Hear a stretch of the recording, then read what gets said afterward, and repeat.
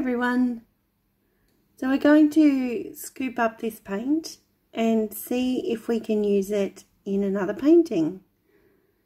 So there are a lot of colours involved in this one. Um, so I'm going to also use up the little bit of white that was left by trying to pour some in and just give it a little bit of a break in between the colours and see how that goes.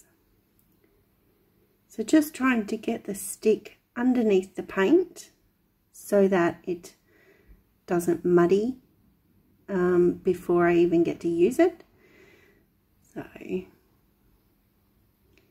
scraping it in the same place in the cup, letting it run down the side and then adding the white wherever possible. So cleaning up the table now, I'll just put that um, the rest of that white in and leave the cup sitting on top while I get everything ready.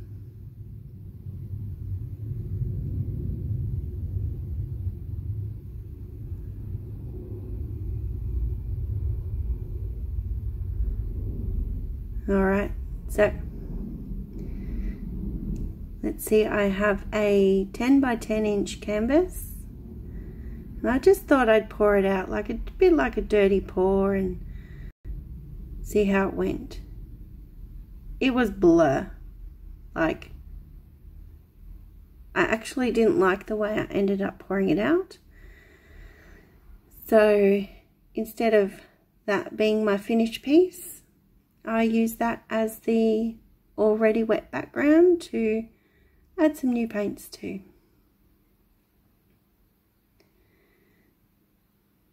So all these colours are very vibrant. That looks awesome. And I have sped this up a lot. Um, this whole thing took me an hour. And I've broken that down into five minutes. So there we go.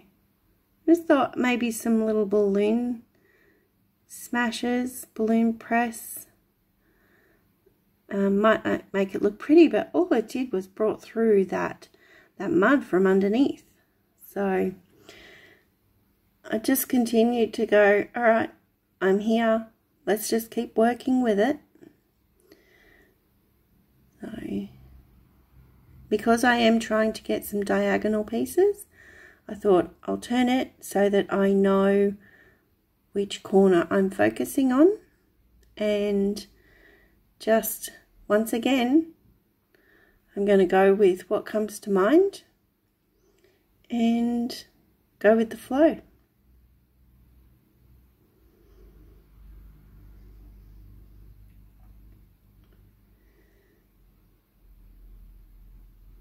So just trying to pretty much draw out these lines, dots, swirls, spirals, um, straight from the bottle.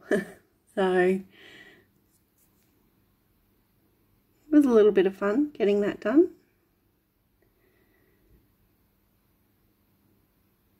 Then I thought maybe it looks, because the background did get that muddy and then the black, I thought I'll add in some gold to highlight some of those areas.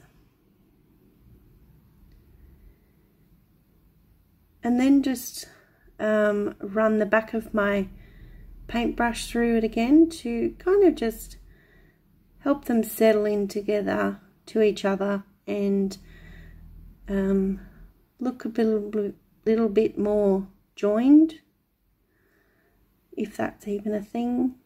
Because by this point, I was well and truly just so focused on what'll I do here, what'll I do there, and just continuing to go with what came to mind. Again, with the spirals. Um, so I ended up doing those spirals in my previous painting and they are what have come out again. So I do enjoy the the smooth flow of the spiral, I guess. So